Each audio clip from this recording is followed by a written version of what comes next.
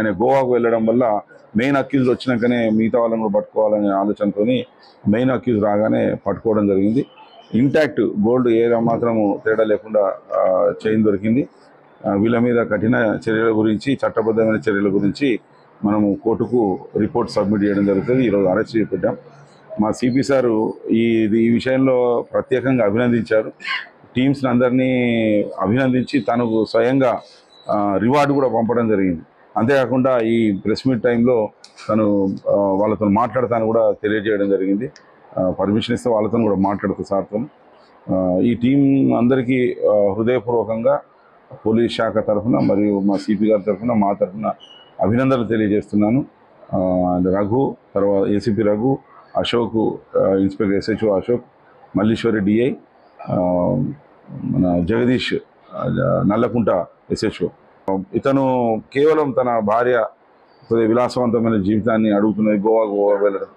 ఇతను ఈసీఐఎల్ దగ్గర ఉంటాడండి. ఈసీఐఎల్ కళ్యాణ్పురి అయింది కళ్యాణ్పురి ఉప్పల్లో ఉంటాడు ఈయన. పోతంశెట్టి రవి ఉండేది ఏంటంటే కాప్రా సికింద్రాబాద్ ఉంటాడు. రాజేష్ రాథోడ్ ఏమో Krishna jewellers and pawn brokers shop నడుపుతున్నాడు. గాయత్రి నగర్ ఈసీఐలో నడుపుతున్నాడు. సో ముగ్గురు ఒకరికొకరు పరిచయం. అట్లా ఆ విధంగా ఈ నేరంలో పాలు పంచుకున్నారు. అంటే మెయిన్ చేసిన వ్యక్తి ఒకరు సహాయం చేసిన వాళ్ళు ఇద్దరు.